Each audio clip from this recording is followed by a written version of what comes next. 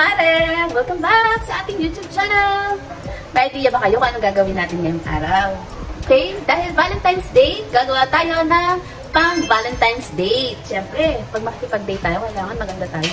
So yun, tuturuan ko kayo kung paano ang makeup na pang-date ng mga pabebelang. At meron nga lang na twist. May gagawin tayong twist na pang Valentine's Day, pero iba naman. Okay, let's start. Okay, mag-start na tayo. Siyempre, una, dapat lagi tayo nagpe-prep bago tayo maglagay ng makeup. Pagkatapos natin mag-toner, siyempre, dapat meron lagi tayong moisturizer. At pagkatapos natin mag-moisturizer, gumamit din tayo ng primer. At pagkatapos natin mag-primer, gagamit naman tayo na color corrector para matakluban yung ating mga sumpa. So, ayun, kukuha lang tayo ng kaunting amount.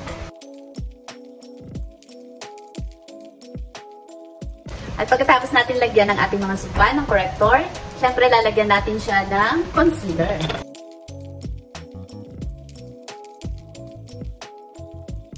Okay.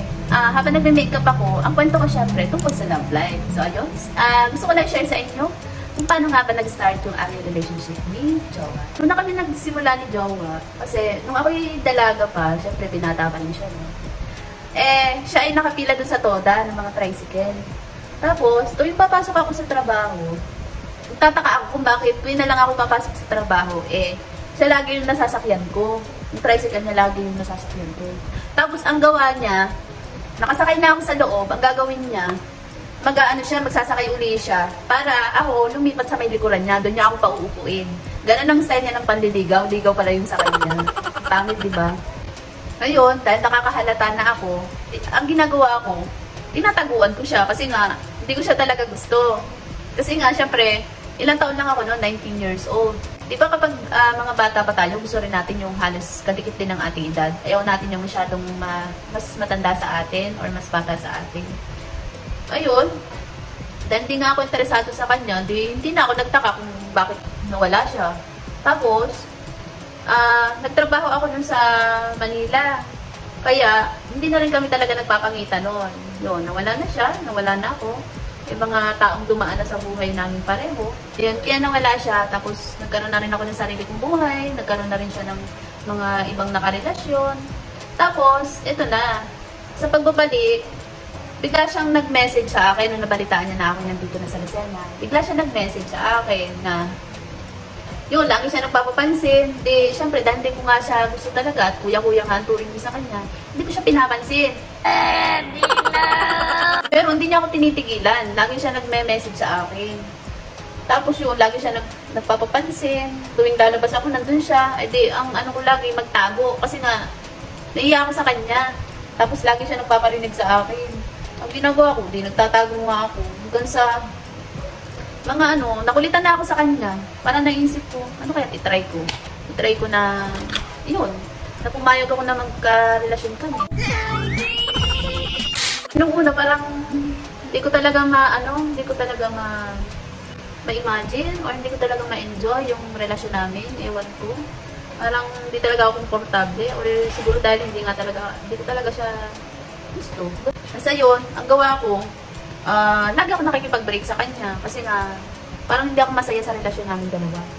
Tapos yun, lagi kami nag-aaway kasi nga ang lagi kami lagi ako nakikipag-break. Ewan ko ba kasi hindi hindi basta hindi ko siya feel sa makatubid. Hindi hindi ko maramdaman yung love. Hindi pa gano'n naman pagka ano, dapat kilig-kilig-kilig ka, gano'n. Pero nung sa amin, parang hindi ko talaga na-enjoy yung relasyon namin. Nung ako'y nabuntis, doon ko talaga na-feel na, ay, mahal ko na siya. Nung ako'y nabuntis na, kita ba? Kasi, ah, uh, nakita ko yung pag-care niya sa akin.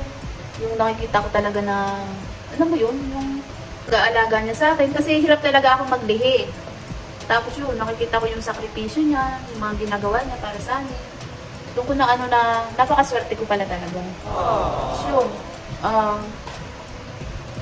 dumating sa point na walang-wala kami. Nandiyan pa rin siya. Tapos, di, lagi nga ako nasa ospital noon kasi nga hirap ako magbihi. Ang ginawa niya, dahil walang-wala nga kami, humihingi siya ng, ano yun, napila dun kay Mayor para makahingi ng libreng gamot. Ganon, ganon siya ka, ano. Naisip ko, nakakatuwa tong taong to kasi walang arte sa katawan. Kasi nag-abroad siya eh, nag, ano siya, nag-ibang bansa, tapos ang bagsak niya as in walang-wala siya. Tapos ako, walang-wala din, kasi tumingin siya sa pagtatrabaho eh. Kasi nga, ah, dahil hirap ako maglihi, nag-awol siya, hindi na siya bumalik, kasi nga, hirap na hirap ako sa paglilihi ko. Tapos yun, di, wala kaming naipuntan, naupahan lang kami ng mga time na yun. yun. Nakita ko talaga na mahal niya talaga ako ng mga time na yun. Talagang sobrang sipag niya, wala siya reklamo, wala akong narinig sa kanya na reklamo. Tapos, isipin mo yun, galing siyang abroad. Tapos, makakaranas siya ng hirap. Tapos sabi nga ng biyanan ko, buti napapakain mo ng maliliit na isda yan. Eh, ang arte-arte sa ulam niya. Hmm, talagang siguro na ano ko na hindi niya deserve yung ganong hirap. Pero dahil nga inasawa niya ako, hindi, tinanggap niya kung ano yung meron kami. Kasi ayaw din naman namin umasa sa mga magulang namin. Ito pa yung nakapagpaano sa akin na ibuntis na nga ako no, nakauwi na ako sa amin. E di walang wala na nga kami. Akala ko siya ay namamasada. Pag uwi niya, tuwang-tuwa siya. Hindi ko alam kung bakit siya tuwang-tuwa. Sabi ko, bakit ka tuwang-tuwa? Yung pala naman, kaya pala siya may pera. Parang 800 yata yung pera niya nun. Tuwan-tuwa siya kasi may pera siyang 800. Kasi pag namamasada siya, eh maunti lang talaga yung nauuwi niyang pera. Tapos, yung pala, sinabi niya sa akin, nag-donate daw siya ng dugo. Nag-donate siya ng dugo, tapos yung may bayad daw, binayaran daw siya. Kaya siya nagka-800. Tapos alam mo yun, parang ako naawa sa kanya. Pagkatapos niya no, di siya ay nakuha ng dugo. Isipin mo, naglaba pa siya. Naglaba pa siya kasi hindi nga ako makakilos pa ng maayos kasi medyo maselan pa yung ano ko noon. Masama pa ang pakiramdam ko. Ganun ako kaselan na, buntis. Tapos alam mo yun, na, lalo ako napamahal sa kanya noon kasi talagang napatunayan ko na lahat gagawin niya para sa amin. Ganun. Tapos napakasipag niya. Talagang halos wala akong gawa ng buntis ako. Kaya naman, nung nanganak ako, nung nanganak, na ako kay Taba, kailangan na niyang umalis. Nakakalungkot talaga yung part na yun kapag uh, sa mga LDR, yung kapag aalis na siya. Nakakalungkot kasi para ako napilayan yung mga panahon na yun. Kasi nasanay ako na katuwang ko siya, na siya ang mga gumagawa sa bahay, ako nasa bata lang, ganun. Siya yung gawang-gawa sa bahay. Parang napilayan talaga ako. Parang isang buwan yata akong ano, isang buwan yata akong nagmukmuk. Na parang feeling ko namatay siya. Alam mo yung bawat sulok na makita ko, na-imagine ko nandun siya, naghuhugas siya ng pinggan, yung mga ganun bagay, nandun siya, pipinta siya ng gatas, yung mga ganun. Yun, halos isang buwan yata akong ganun, iyak na iyak. Hindi ako, tamad ako magkikilos. Hanggang sa, nasanay din naman ako, nasanay din naman ako na wala siya hanggang ngayon, ilang years na, ilang ilang taon na si Taba, 9 9 years old na si Taba. So, 9 years na rin siyang ganun, ang setup namin. Uuwi, uuwi lang siya, uh, parang isang buwan lang siya dito. Isang buwan lang siya dito. Nakakapagod. Ang hirap, mahirap talaga maging LDR kasi ang hirap pagka may hindi kayo pagkakaintindihan. Hindi kayo makapag-usap ng maayos kasi hindi ko siya mapilit. Ang, ang style kasi niya, kapag magkaaway kami, para hindi lang maba yung away namin, hindi na siya magre-reply. Ganun ang ano niya eh ako, inis na inis naman ako kasi gusto ko matapos na yung away namin. Kaya gusto ko pag-usapan agad namin. Eh, siya ba yung tipo na ano, na tao na ayaw niya ng madrama? Ayaw niya ng madrama. Gusto niya pagka na pag-usapan na, tapos na, gano'n na. Ayaw niya nung ano, yung paulit-ulit. Ganun siya. Di ako naman inis na inis kasi ang gusto ko yung makikitaan ko siya na nagsisi talaga siya. Yung gano'n, yung magsasorry siya at mangangako siya na hindi na niya uulitin. Mga ganun ba? Gusto ko ganun. Eh siya kasi iba. Iba kasi ang ano niya.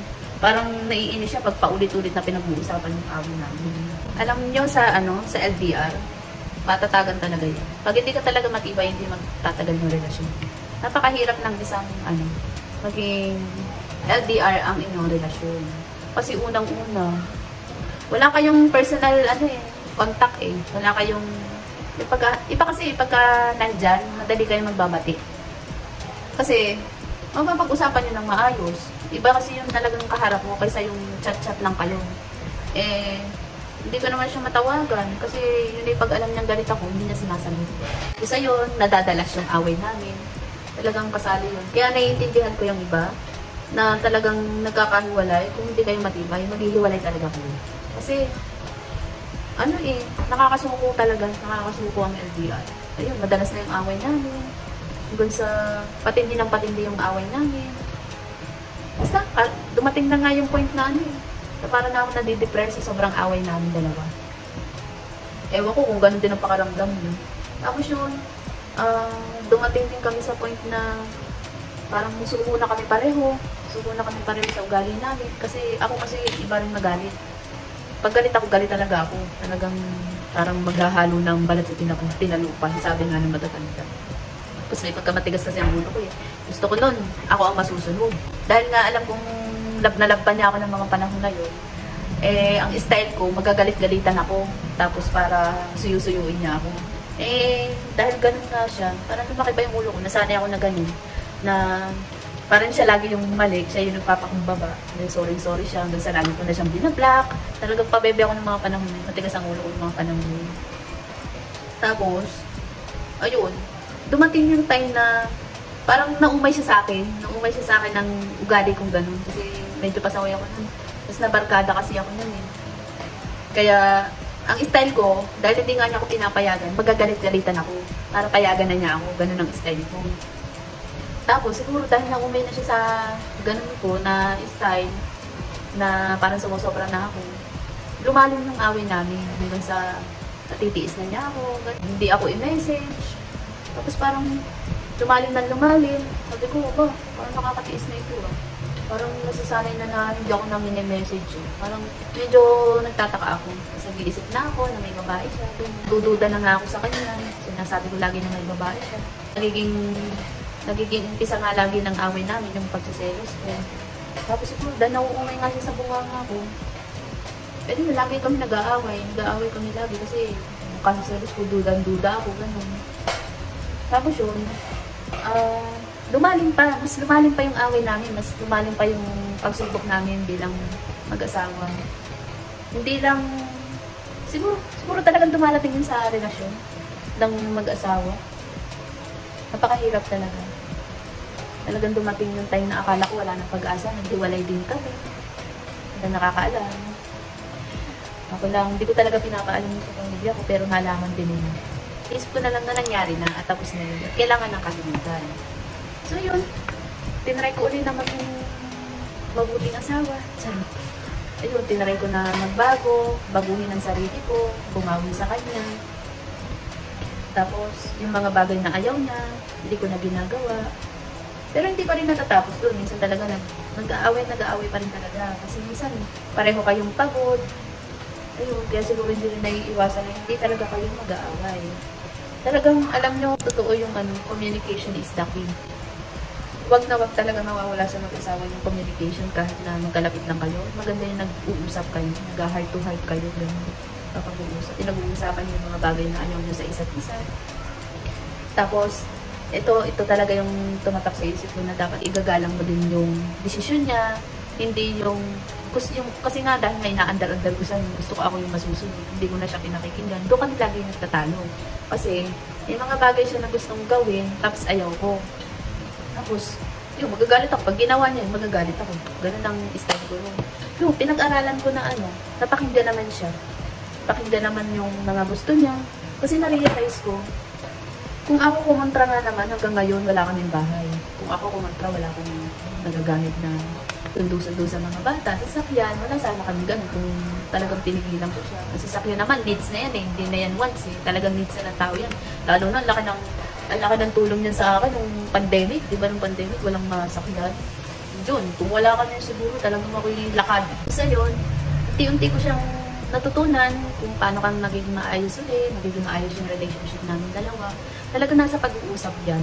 Hindi ko naman sinasabi na perfect na yung relationship namin kasi nag-aaway pa rin naman kami. Pero, madali na kami magbati ngayon. Tsaka medyo mababa na kasi yung pride ko. Binabahan ko na talaga. Tinatry ko na intindihin talaga yung sitwasyon. Para mas madali kong matan- matanggap yung kahinaan namin dalawa. Para mas madali kami magkaayos. Yung minsan lang talaga, minsan pagka medyo matagal kami magbati, gusto ko kasi no, para ma-realize ba niya na nagkamali siya. Kasi ang style mo, pag nag-sorry siya, gusto niya, tapos na, ganun na, wag na pag-usapan. Kahit na medyo masakit yung ginawa niya sa akin, bago nakapagsalita siya ng hindi maganda. Kasi ako masyado akong madamdamin eh. Pag di ko nagustuhan yung salita ng isang tao, talagang yan ay nakatatak sa akin, hindi basta-basta nagbubura. When? Hindi nga. Ah, ah. Pero ayun, ah, natutuwa naman ako kasi malaki talaga yung pagbabago. Compare naman ako. Kasi ako na talaga dati, sobrang mabarkada ako. Kung ano-ano yung gusto ko lagi lalayas, ganyan. Mas gusto ko nang kasama ang barkada. Ngayon, iba na. Talagang pag ano, nakakalabas lang ako dahil sa trabaho, nakakalabas ako para mag-grocery lang. Ah, yung mga plano niya, pinakikinggan ko. Ah, minsan lang talaga medyo kumukontra ako kapag hindi pa kaya. Tulad nung last namin pinag-awayan, may bagay lang kami hindi napagkasunduan. Pero ngayon, okay naman na ulit kami. Mm, yun lang. Ah, talagang mahalaga talaga yung may unawaan kayo, may tiwala kayo sa isa't isa. Tapos, ah, wag na wag mawawala yung communication nyo. Mag-usap kayo palagi. Tsaka lagi kayo magpapakumbaba. Ganun. Saka syempre, wag na wag, ito ang number one, wag na wag nyo malilimutan na salita ng I love you. Yun ang wag na wag mawawala. Yun lang, yun lang muna ang gusto kong i-share. Hopefully, sana yan, makapagkwento uli ako kung sa aming love story. Yun. Ah, sana nagustuhan nyo yung love story namin. At finalize lang natin, to at babalikan ko kayo. Thank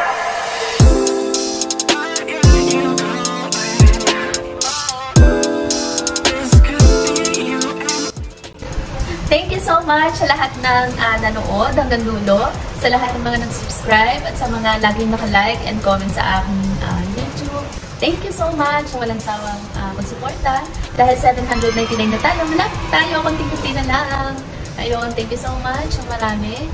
So, sana nagustuhan nyo yung makeup natin ngayon at yung ating chikahan. Sa lahat ng nag-like, nag-share, subscribe, thank you so much po na maraming maraming. Bye!